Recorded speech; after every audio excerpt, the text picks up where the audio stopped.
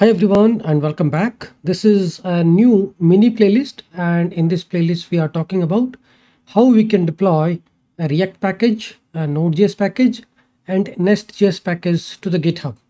So we are going to create our private packages like a Node.js library package, React UI component package and Node.js utility package and then we are going to use those utility packages in the external projects. So this is a mini playlist because I wanted to cover all these things together. So there will be a couple of uh, videos in this. Hi everyone and welcome back. So in this video, we are going to talk about how we can publish a Nest.js dynamic module which which is doing dynamic initialization. Okay, so in the last video, we were talking about uh, static initialization of a module, random module.for root. Now I want to change it and I wanted to allow for root async also. So using config module, I should be able to pass. So this is what we want. I'll just replace it here. This for root for root async.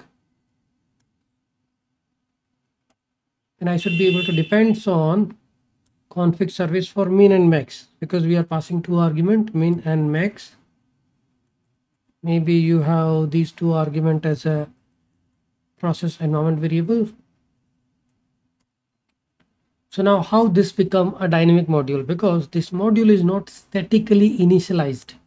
This is the dynamic module but not statically initialized. But now this is dynamic module which is dynamically initialized. So that is the difference between for root and for root async. In the earlier example if i just try to undo this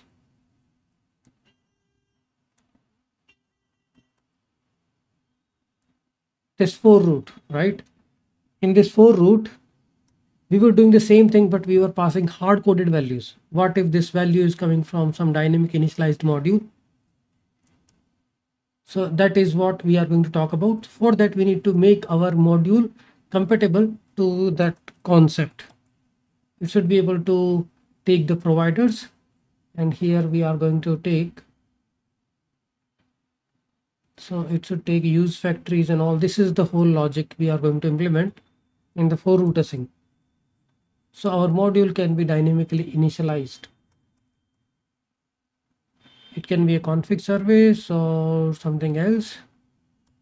We are injecting config service config module and from there we are getting the mm, value of min and max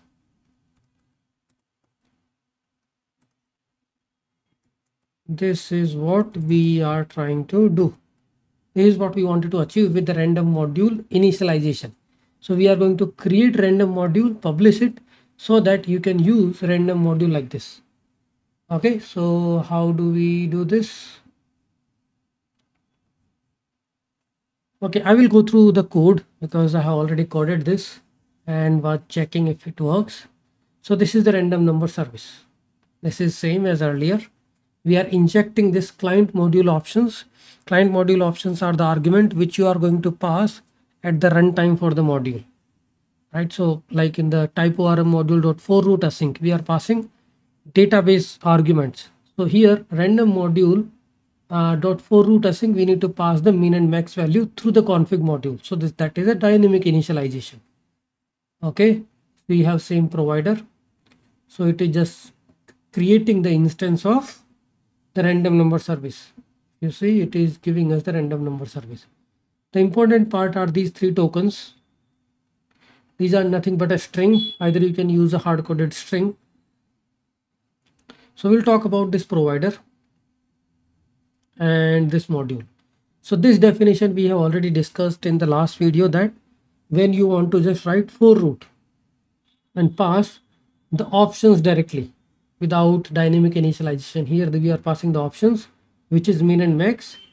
So i will just give you the instance of random module service and this is what your for root method is giving to whoever is calling it. So in our another project we are going to call random module random number module dot for root pass the argument min and max and then it will give us the random module service. Now for root async what are the differences here for root async can be initialized in three possible ways.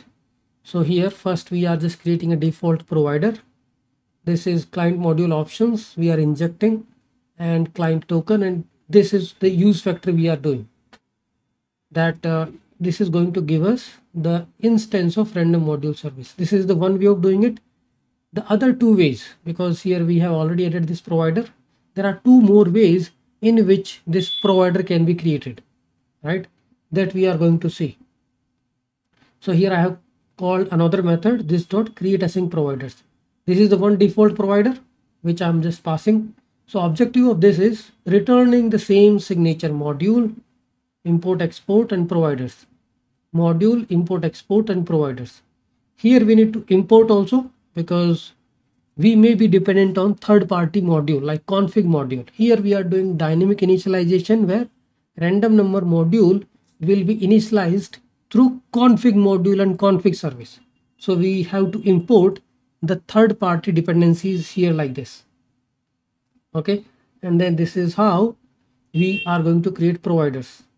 If you uh, have seen how dependency injection works, I mean, in all different possible ways in which we can create a providers. Providers can be created with the help of use existing, use factory, use class. This is the default provider where we are just using use factory. The other two providers are can be created like this. Create a async provider. And here in the option, if option is use existing or use factory, then we can just create a async provider like this. Otherwise, if it is a use class, then you need to provide a use class and this is the class we are going to use option dot use class. Then here create async provider. What this is doing is this is just giving us if it is use factory then return this. If it is use class then just give this whole sentence. So these are just uh, three different possible ways in which you can create a provider.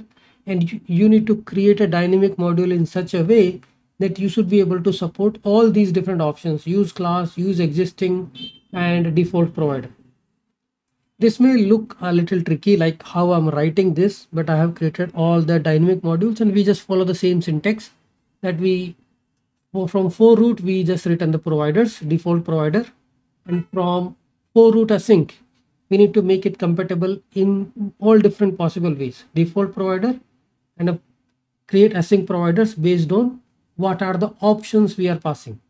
Options may be use class use existing or use factory use existing use factory. So we'll just do create async provider. And create async provider is doing this. Okay what if it is not using use existing use class? So use factory on use existing then it might be using use class. Then you need to create async provider and this is the use class and this is the class instance. Okay so this is service and we can just simply publish this thing.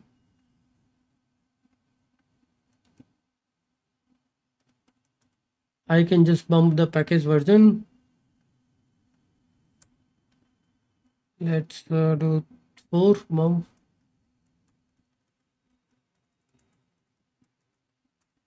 Not sure if it can pick my npm login. Okay, this has been published and you can see what is in the archive, what it is publishing, index.d.ts,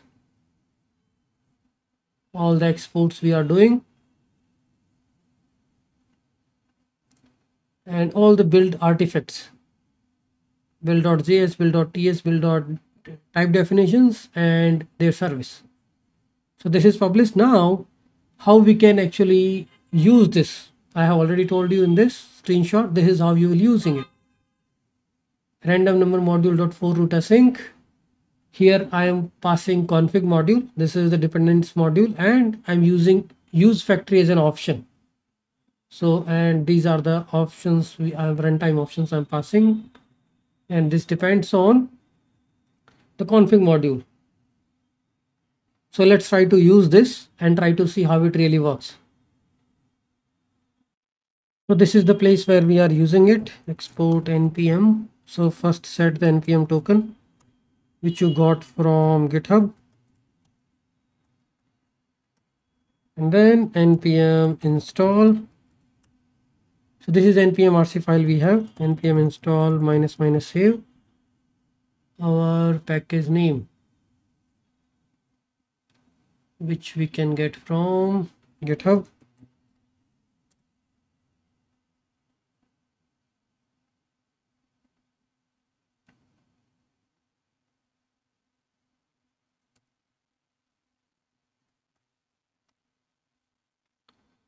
okay so we got the package and here we can see that. I will try to show how we have imported it. Okay I need to go T. Where is it? Yes here it is. Nest.js package. This is the build artifacts which we have added using npm install now to use this, what we need to do in the domain module,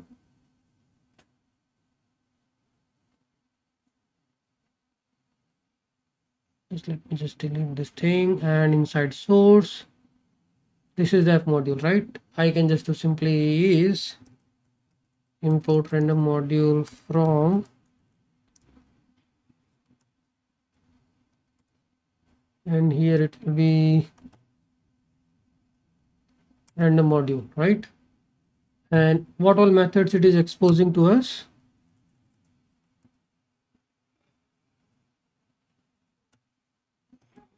For root async right? And here you can do the same initialization. You need to pass the options.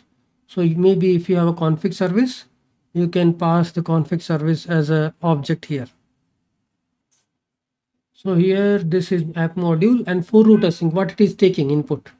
If you look into the definition, it is taking random number module async options, which can be these three. Either you use use factory. So out of these three, we have to use one.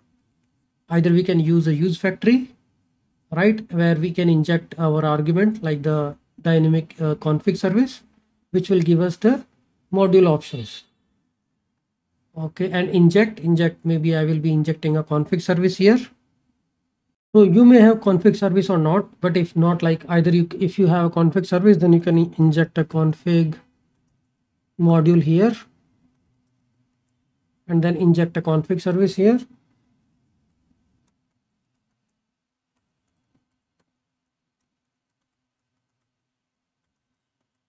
And get these env uh, i mean min and max value from the config service. Currently, we don't have any. So I'm not going to inject anything and I can get these from environment variable. So this is the simple implementation. I mean, this will also provide a for root and for root async, both the both ways of initializing this. Let's say if I do for root, then I don't need to pass all these objects. For root is taking the options, random number module options, where, where you need to pass an object with these two properties only so here you can pass min and max.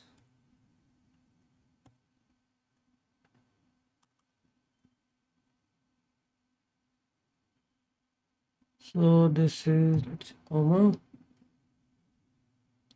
So both are both here looking same but the major difference is it is allowing you to dynamically initialize it from the third module. So here you can inject a config module and config service and get the values from the config service this is mainly known where you are doing a static initialization and getting the values right away.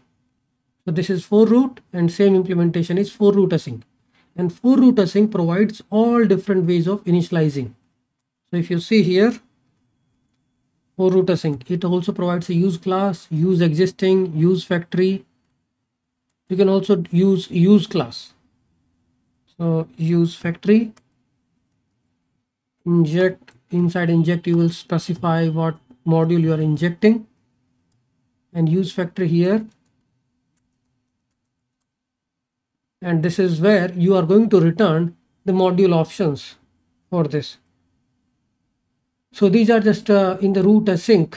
These are the different possible ways you are getting to initialize the module. And for for root you just need to pass the runtime argument Okay, this is all about how you can create an Nest.js package and use that package in an any of external package. We publish this package as a GitHub module and then we are installing GitHub module through npm-rc. Okay, this is overall about this whole playlist where we were able to publish the React package, Node.js package, Nest.js, three different type of variants. A static module, dynamic module, statically invoked, dynamic module, asynchronously invoked.